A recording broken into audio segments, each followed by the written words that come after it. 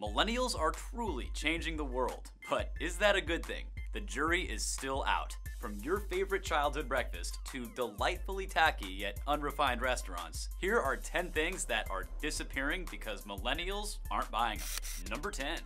One of the oldest sports on the planet might be in danger of extinction. But according to the Dalai Lama, when it dies, on its deathbed, it will receive total consciousness. So it's got that going for it, which is nice.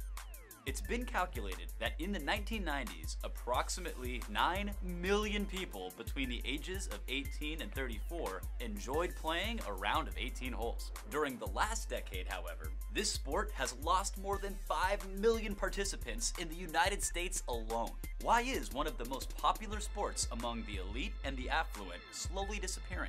Well, it seems that millennials are driving a wedge between golf course owners and their revenue. Simply put, golf is far too expensive for most millennials. Not only do you have to pay exorbitant fees to actually get a club membership, but the equipment and the gear you need to buy are crazy costly. Oh snap! I just said the word of the day exorbitant. Exorbitant means highly excessive, exceeding the appropriate limits in intensity, quality, or size. Good synonyms would be inordinate and unconscionable. See if you can use exorbitant in a sentence in the comment section below, and we'll feature the person with the most creative phrase in the next video. And big shout out to Ellie Kindred Zombie. With assuage as the word of the day, she wrote, My boyfriend noticed I had really bad anxiety, so he called in work sick to assuage my anxiety. Nice sentence, Ellie, and hold on to that man. He's a keeper. Ultimately, when it comes to golf, the price is wrong, Bob. So for those of you who love swinging the wrenches, in the not too distant future, you may have to get your foreplay somewhere else. Number 9. How can one of the most cherished meals of our childhood be dissipating into thin air? There are plenty of reasons why millennials seem to be rejecting cereal. First and foremost, tricks are for kids, and we're old now. Secondly, the health issue. Most cereals are loaded with sugar and empty calories, which is delicious, but not too nutritional. And even if there are healthier cereal options, they're either incredibly expensive or bland, or both. Brands like Captain Crunch might still be popular among kids, especially the child masochists out there who love to get the roof of their mouth torn to bits. But even this trend is starting to decrease as millennials are now having children of their own and are choosing to offer them other options for breakfast. Why wouldn't millennials prefer, for instance, a good egg-based breakfast? It's far cheaper and healthier. There are plenty of scrumptious recipes that are far more tempting than an old boring bowl of cereal. Number 8. Traditional gyms where members exercise on their own and focus on their own personal routines are actually on their way out. Millennials frankly aren't that into the way people used to work out 20 years ago. They want to make an experience out of it. Socialize, take a class, have a healthy drink, talk about their feelings, and add it to their Instagram story. Boutique gyms are in. The numbers don't lie. Studio gyms grew more than 70% between 2012 and 2015, while traditional gyms experienced a weak gain of 5%. Those are some puny numbers. Do you even lift, bruh? That's a big difference right there, and there's a huge profit to be made by adapting to the new generation's demands. It seems that millennials prefer to pay for specific classes like SoulCycle, CrossFit, or Barry's Bootcamp. Apparently, they're willing to pay extra for a more exclusive experience, where exercising is only one of the many perks awarded. Gyms should try to adapt to the new trends if they're determined to survive. For now, though, it seems like they might be on their last set. Oh, didn't see you there. Hope you're enjoying the video. If you like what you see, be sure to subscribe. That way, you won't ever miss any of our new content and it helps other people to find the channel. You're great. Number 7. Millennials are killing cable. Waiting a week for the next episode to air is so 1997. Streaming is in and binge watching is the new normal. It's more time efficient because you don't have to watch commercials, and a Netflix account is far cheaper than a cable bill, especially when you use your roommate's sister's best friend's password. And now, big players like HBO have adapted to allow viewers to enjoy their shows on more and more devices. So users aren't dependent on cable to actually watch their content. This puts cable at a huge disadvantage to the other alternatives, and the numbers show it. Streaming seems to be the primary medium for 61% of the people between 18 and 29, who seem to prefer it over traditional media. Old fashioned linear television also doesn't allow the kind of personalization that streaming offers its customers. And if there is something that millennials appreciate, it's watching what they want, when they want it, and where they want it. You can't watch TV on your cell phone or your tablet, but streaming is available anywhere that you have internet. Convenience is the name of the game, and cable TV hasn't been able to think outside the box. Number 6. Massive homes. For millennials, showing off wealth as a sign of social position and prestige tends not to be perceived as posh and appealing, but quite the contrary. Owning a massive home with too many unnecessary luxuries is increasingly viewed by millennials as ostentatious and wasteful. Millennials are a generation that's yoked by student loans and concerns over economic and environmental issues, so being wasteful tends to be viewed as untoward. Being socially conscious is more than just a trend among the millennial generation, and this naturally alters their perception of what is important when purchasing, or in most cases, renting, their first home or apartment. Additionally, the trend with millennials was to move into or around cities, where the price of property is much more expensive than the country's rural areas.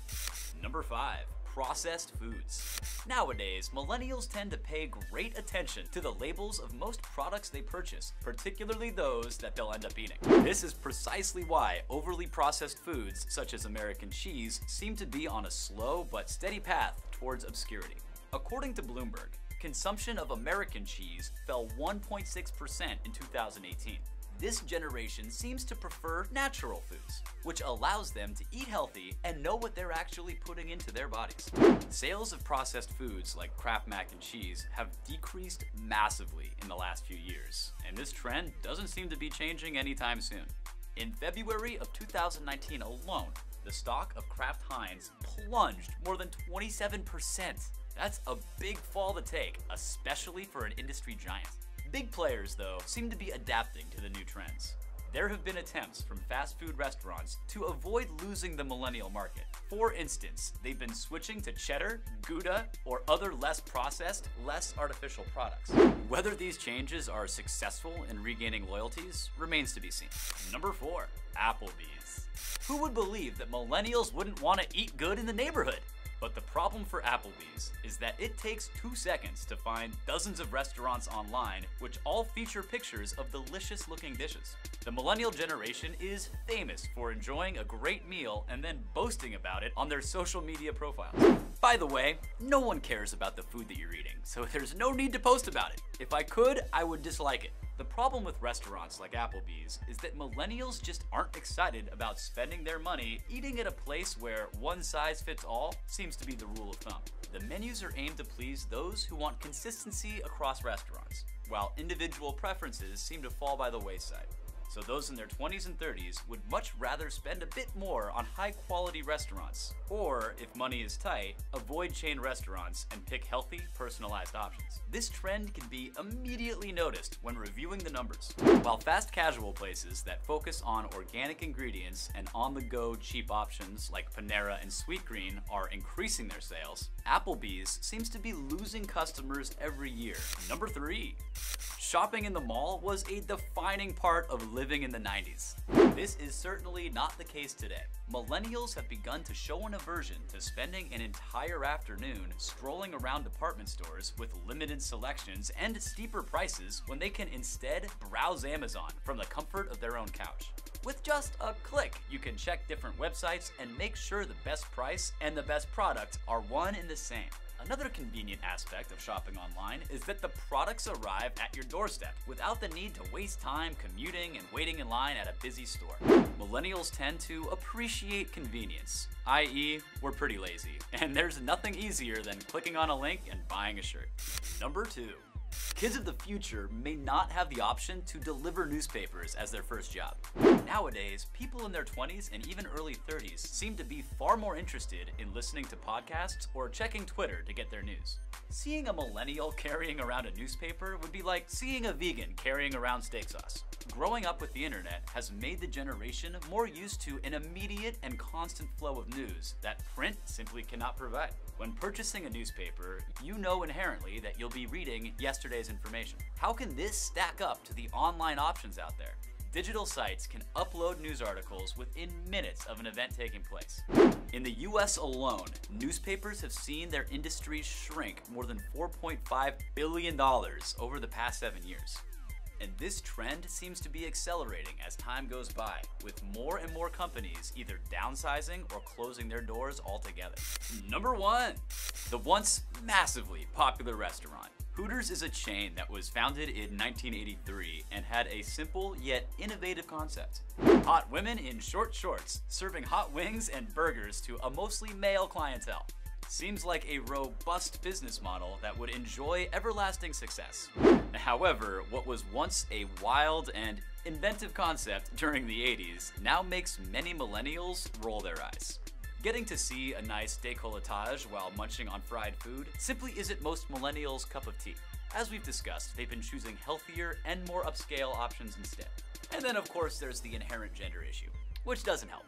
There are those who would love to see Hooters bounce back but between 2012 and 2016, more than 7% of Hooters restaurants shut down, and the profits of those that remain open have decreased significantly.